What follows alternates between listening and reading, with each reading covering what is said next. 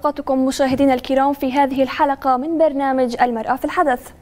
التغيرات الاجتماعية العظيمة مستحيلة دون نهضة نسائية وأن تقدم أي مجتمع يقاس من خلال وضع المرأة فيه.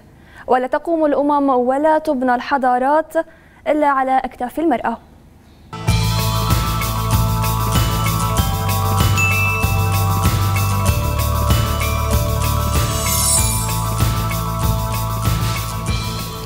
نبدأ حلقتنا اليوم من نيويورك.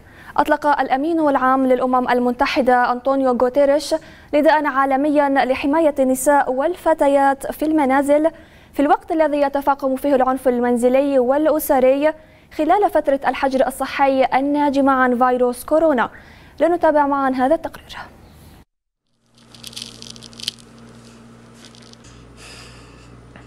مع ازدياد التقارير في عدة دول حول العالم بخصوص ارتفاع نسب العنف الأسري والمنزلي تجاه النساء خلال فترة الحجر المنزلي بسبب انتشار فيروس كورونا. دعت الأمم المتحدة إلى حماية النساء والفتيات اللواتي يتعرضن للعنف. The COVID-19 pandemic is causing untold human suffering and economic devastation around the world. الأمين العام للأمم المتحدة أنطونيو غوتيريش قال إن العنف لا يقتصر في ساحات المعارك بل أن أكثر مكان يلوح فيه خطر العنف بالنسبة للعديد من النساء والفتيات هو المنزل أي المكان الذي يفترض به أن يكون واحة الأمان لهن على حد تعبيره. غوتيريش وجه نداء من أجل السلام في المنازل إلى جميع أنحاء العالم لافتا إلى أن تزايد الضغوط الاقتصادية الاقتصادية والاجتماعية وتنامي المخاوف أدى إلى طفرة عالمية مروعة في العنف المنزلي. الأمم المتحدة قالت إنها غير قادرة في هذه المرحلة على تحديد عدد النساء أو الفتيات اللواتي يتعرضن لعنف أسري في العالم نتيجة الحجر المنزلي لكنها أشارت إلى أن واحدة من كل ثلاث نساء تتعرض للعنف خلال حياتها. ورأت المنظمة الأممية أن العنف ضد النساء قد يأخذ انعطاف أكثر تعقيدا عبر تعرضهن لفيروس كورونا المستخدم كتهديد وطرد النساء من بيوتهن من دون أن يكون لهن مكان آخر يتوجهن إليه إلى جانب انشغال قوات الشرطة والسلطات وتغير أولوياتها. غوتيريش حث جميع الحكومات الدولية على جعل منع العنف ضد المرأة وجبر الضرر الواقع من جراء هذا العنف جزءا رئيسيا من خطط الاستجابة الوطنية الخاصة بفيروس كورونا. ولمنع العنف ضد النساء حددت المنظمة الأممية العديد من الإجراءات. منها توفير الملاجئ للنساء المعنفات والتأكد من استمرار الأنظمة القضائية في مقاضاة المعتدين مع تجنب إطلاق سراح السجناء المدانين بالعنف ضد المرأة بأي شكل من الأشكال فضلا عن تكثيف حملات التوعية العامة وخاصة تلك التي تستهدف الرجال والفتيان.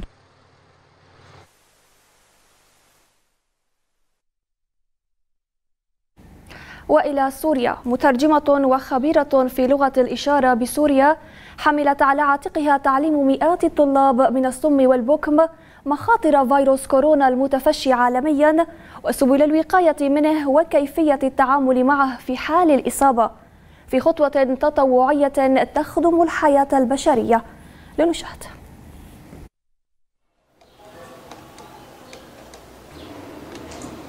خلال أشهر معدودات خلق فيروس كورونا استثناءات طالت المفاصل الحياتية اليومية للإنسان العادي وحتى شريحة ذوي الاحتياجات الخاصة والتي تشمل الصم والبكم.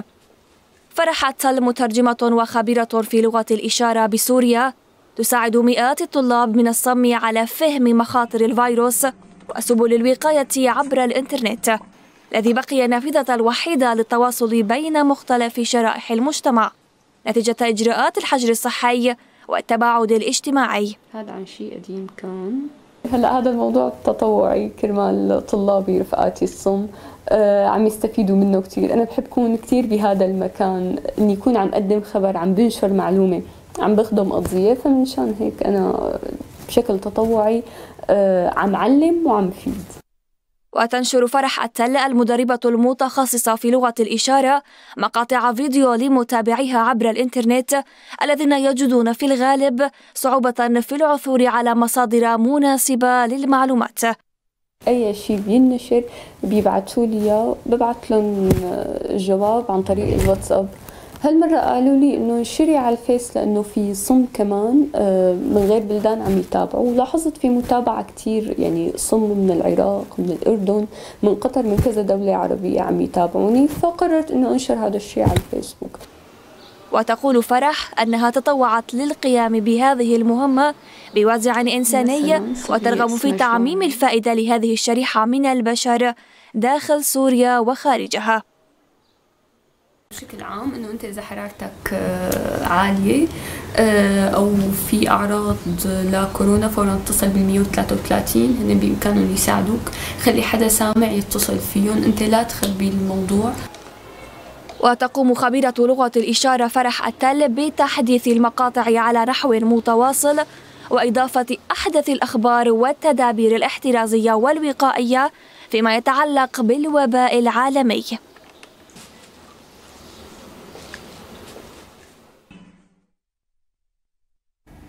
باقة من الأخبار الاجتماعية والفنية والثقافية مشاهدينا بعد الفاصل.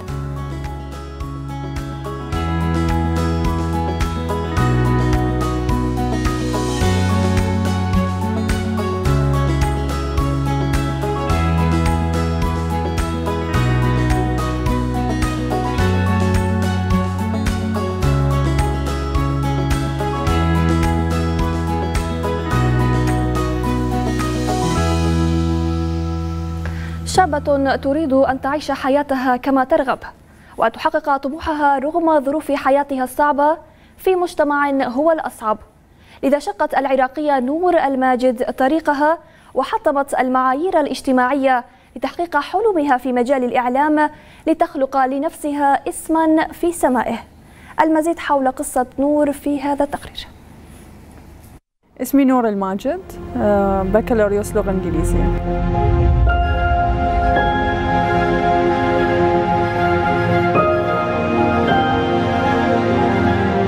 طبعا آه، دخولي على العلاقات العامة كان هو يعني ما كان كنت مخططة. كنت أكتب قبل لا أدخل مجال الإعلام والعلاقات العامة. كنت أكتب بالصحف وأيضا كان لي تجربة بالصحافة العربية في دبي. بعدين دخل الصدفة. أحد الأصدقاء دخلني صدفة للمجال العلاقات اشتغلت به آه، مدى سنتين. لكن بفترة قصيرة جدا الحمد لله قدرت أنجح به وأصبح رقم بالعلاقات. بس أني الأقرب إلي هو التقديم. لكن اللي آه، أنطاني فرصة حتى أقدم هو كانت فرصة العلاقات العامة. واليوم أشتغل علاقات لبرنامجي وأيضا مقدمة لبرنامج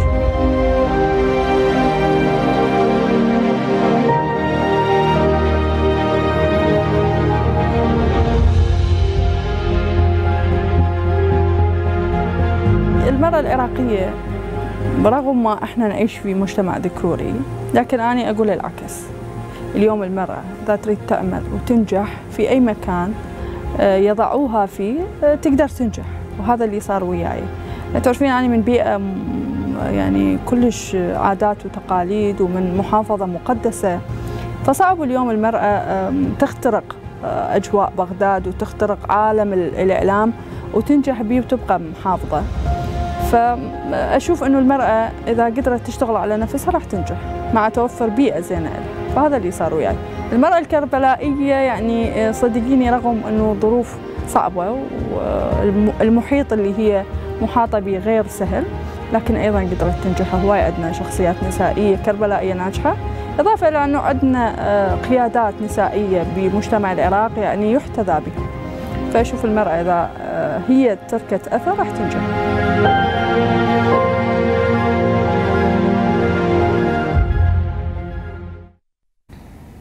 يبدو أن فيروس كورونا وقرارات الحظر التجول لمعظم دول العالم كانت فرصة لإعادة المواهب لأصحابها حيث أن فترة الحجر المنزلي أعادت للصحفية الفلسطينية خولة الخالدي موهبتها في الرسم والنقش على الزجاج بعد إن كانت سابقا لا تجد متسعا من الوقت لممارسة شغفها. لتبدأ الآن مرحلة جديدة من الإبداع والفن. لنشاهد معنا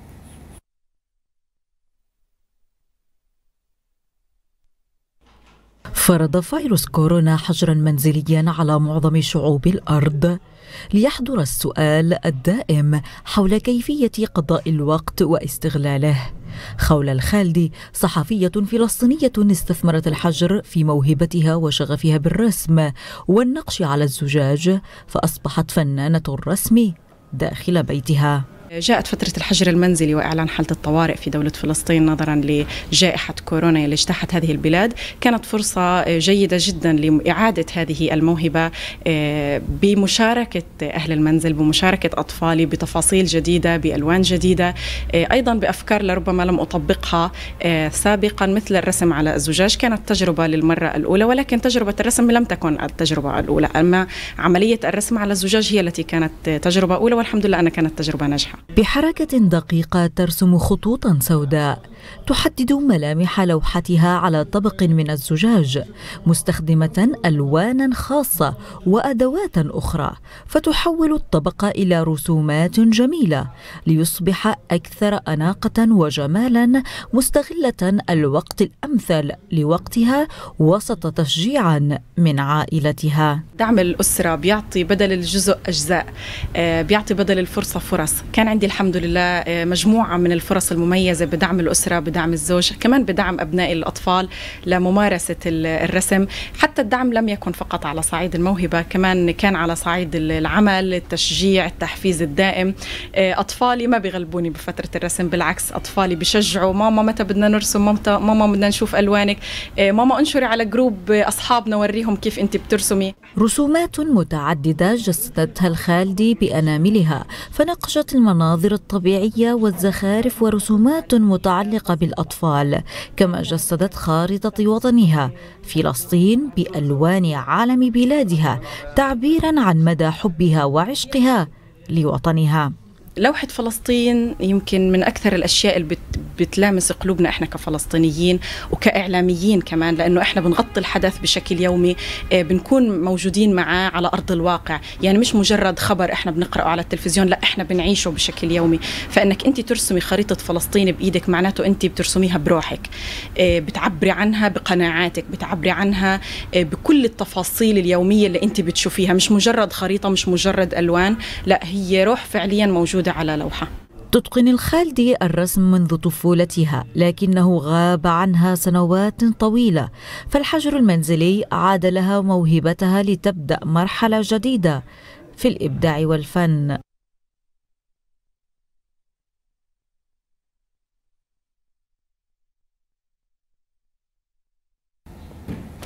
قالت دار جوليان للمزادات أن مزادا على أربع جوائز جولدن جلوب فازت بها الممثلة الراحلة دوريس داي ومفردات أخرى كانت تملكها.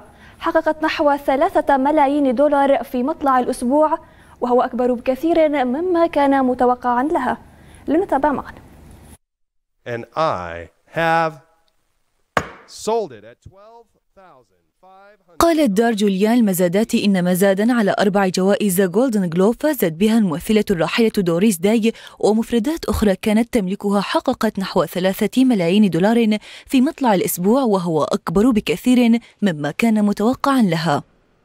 ومن بين المفردات الأعلى سعرا خلال المزاد الذي أقيم عبر الإنترنت كانت سيارة فورد كلاسيكية مكشوفة من إنتاج عام 1930 شوهدت في افتتاح برنامج داي الحواري في الثمانينيات دوريس داي Best Friends وبيعت ب 96 ألف دولار. كما بيعت جائزة جولدن جلوب حصلت عليها داي عام 1962 بمبلغ 25600 دولار. وكانت داي الفتاة المرحة القريبة من القلوب إحدى كبرى نجمات خمسينيات وستينيات القرن الماضي وتوفيت في مايو أيار عام 2019 عن 97 عاما في كارميل بولاية كاليفورنيا. وستستفيد مؤسسة دوريس داي للحيوانات التي أسستها المغنية والممثلة عام 1978 من كل عائدات بيع أكثر من 1100 قطعة. وكانت دار جوليان قدرت بأن بيع تلك القطع سيحقق ما بين 300 ألف و 600 ألف دولار. وضمت المقتنيات آلة بيانو وفساتين وأثاثا لداي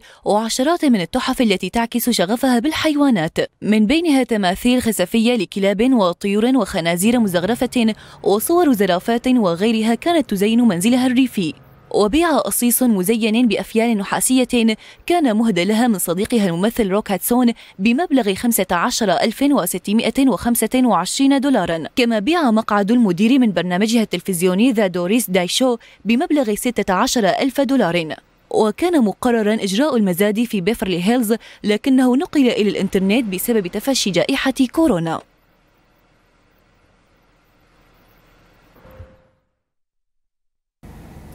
أعلنت مغنية البوب الأمريكية ليدي غاغا عن بث موسيقي عالمي يشارك فيه بول مكارتني وليزو وبيلي إيليش وآخرون لدعم العاملين بالرعاية الصحية الذين يتصدون لتفشي فيروس كورونا المستجد عالميا. المزيد في سياق هذا التقرير.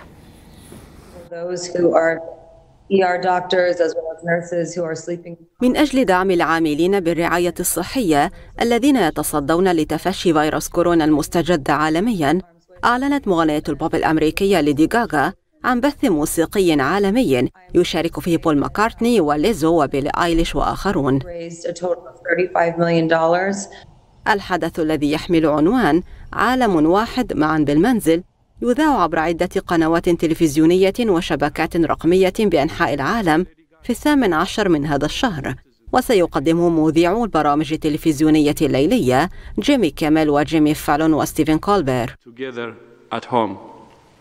ودعيت غاغا التي قالت إنها ساهمت في حشد هؤلاء النجوم إلى إفادة منظمة الصحة العالمية بشأن تطورات فيروس كورونا يوم الاثنين للكشف عن المشروع. وهو جهد مشترك مع جماعة جلوبال سيتيزن لمكافحة الفقر. وقالت غاغا إن المنظمين جمعوا بالفعل 35 مليون دولار للمساعدة في تخفيف الأزمة. وستذهب الأموال لصالح صندوق الاستجابة للتضامن من أجل مكافحة مرض كوفيد-19 التابع لمنظمة الصحة العالمية. وقالت إن هدفهم جمع أموال قبل البث التلفزيوني المنتظر حتى يستطيع المشاهدون الجلوس والتمتع بالعرض الذي يستحقونه جميعا. وبحسب البيان سيشارك في الحدث ألانيس موريسيت وأندريا بوتشيلي وبيلي إيليش وكريس مارتن وديفيد بيكام وإلتون جون وجون ليجند وكيث إيربان وستيفي واندر وآخرون.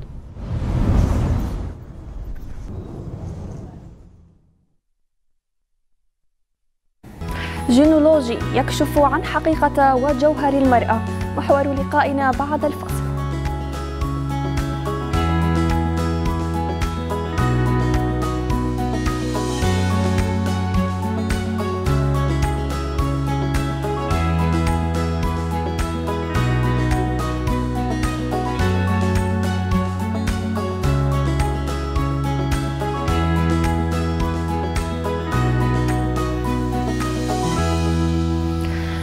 لقاء خاص مع قناتنا تطرقت العضوة في لجنة الجينولوجي أو علم المرأة بإقليم الفرات دجلة حيدر.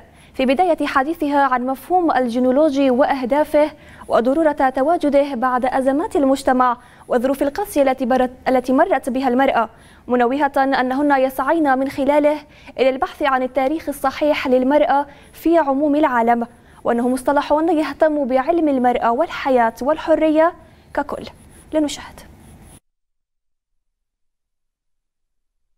طبعا نحن آه، كثير بينسال منا آه، إيش هو مضمون جينولوجي يعني لما بينطرح مصطلح الجينولوجي وباعتبار الجينولوجي هو مصطلح يعني جديد انطرح بمجتمعنا بشمال شرق سوريا. يعني له ثلاث أربع سنين يعني منطرح هذا المصطلح بالمجتمع. فكثير بيطرحوا علينا أسئلة. هلا نحن إذا بدنا نحكي عن جينولوجي هو بداية كعلم اجتماع. طبعا لما بنقول بداية كعلم اجتماع كمان في سؤال ثاني بيطرح حاله اللي هو هو إنه في في علوم اجتماعيه وفي علم اجتماع آه، شو هو الضرورة لظهور علم اجتماع ثاني نحن هون فينا نقول إنه الجينولوجي آه، هو كعلم اجتماع بديل للعلوم الاجتماعية الموجودة بيومنا الحالي. آه، بنعرف إنه نحن بيومنا الحالي بنعاني من كثير مشاكل بالمجتمع. مشاكل يعني اقتصادية مشاكل تاريخية مشاكل ايكولوجية يعني من بكافة جوانب الحياة وعلى كافة الأصعدة نحن عم نعاني من مشاكل مشاكل ومن صعوبات عم بتعيق تطورنا وتطور المجتمع. فلذلك وجد جينولوجي أو طرح جينولوجي آه، بهذا الهدف. يعني آه، بغاية إنه نحن آه، نقدر نكون جواب للمشاكل الاجتماعية اللي عم تظهر بيومنا الحالي واللي منها مشاكل لها تاريخ. يعني مشاكل تاريخية يعني ما ظهرت يعني بين سنة أو سنتين. فلذلك جينولوجي مثل ما قلنا هو علم اجتماع بديل للعلوم الاجتماعيه الموجودة بيومنا الحالي وللشيء اللي بيميز جينولوجي عن باقي العلوم الاجتماعية الموجودة إنه جينولوجي هو علم بيتمحور حول المرأة.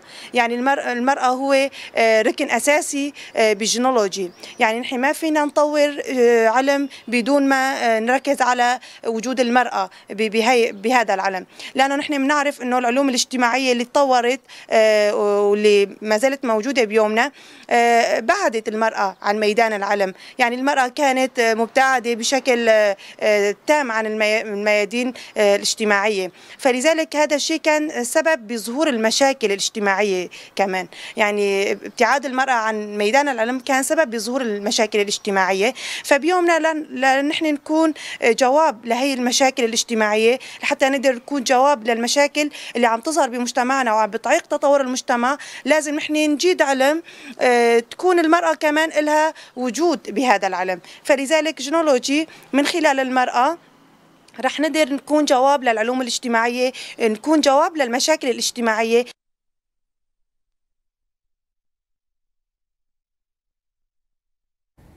مقالنا اليوم للكاتبة العراقية نهى الصراف. تفاصيله بعد الفاصل القصير.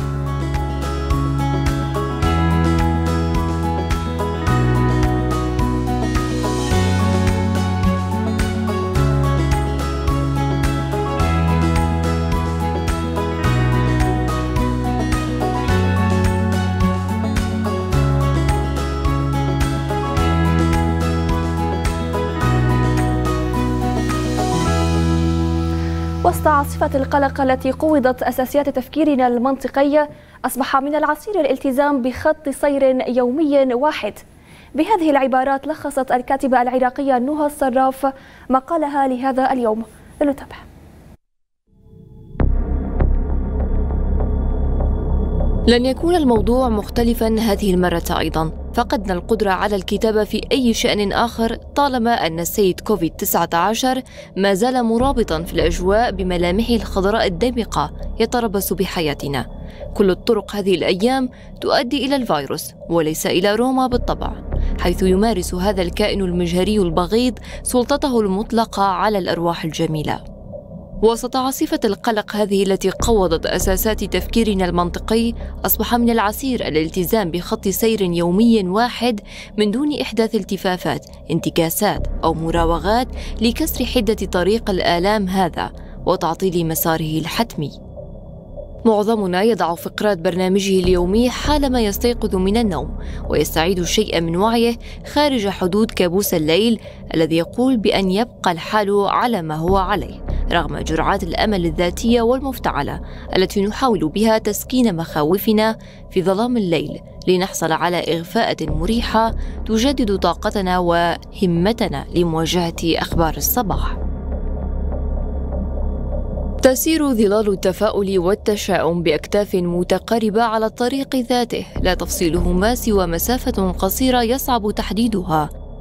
وما دمنا نسير ملزمين في الطريق نفسه يتوجب علينا الاختيار. ففي هذا الظلام لابد من ضوء للاهتداء إلى الطريق ايا كان لونه رغم أن الخيار هذه الأيام لا يتعدى الضوء الأخضر أو الأحمر. هكذا تظهر أرقام ضحايا كورونا والناجين منها في قرائد نشرات الأخبار. كلما ازداد منسوب الأخضر استرخت عضلات وجوهنا وكلما تفوق الأحمر اشتعلت صافرة الإنذار في أرواحنا. يمر هذا النوع من العواجل الأخبارية على يوميات بعض الناس كما تمر نسمات هواء مشاكسة على جبين مزارع مغمور في سواق حقله. يزرع البطيخ والطماطم والكروم ولا يعبأ بالعالم الخارجي شرط ألا يحدث مكروه لمحاصيل أرضه. بينما لا يحدث هذا مع الغالبية العظمى الذين تركوا حقول يومياتهم وحبسوا أرواحهم في زوايا المنزل. لاستقصاء مزيد من الأخبار تحليلات المتخصصين تكهنات الدجالين وبائعي الأوهام على أمل الحصول على نتفة صبر وسط محيط متلاطم من خيبات الأمل. تحدث هذه الأمور وغيرها في مختلف بقاع الأرض المبتلية هذه الأيام بالزائر المجهول ثقيل الظل لكن الأمر لن يستمر طويلا فالملل بدأ يتسرب إلى النفوس. الملل من تكرار البرنامج اليومي ومن ثقل العمل الروتيني الذي يضع لبنات العزيمه والتحدي واحدة فوق الأخرى بقياسات محسوبة خوفا من انهيار البناء دفعة واحدة في لحظة ضعف. ولابد أن يأتي اليوم الذي سينهار فيه كل شيء. البناء والتحدي والصبر والأمل أيضا. سيأتي هذا اليوم متاخرا قليلا. ربما قبل فوات الأوان أو بعد فواته لا أحد يدري.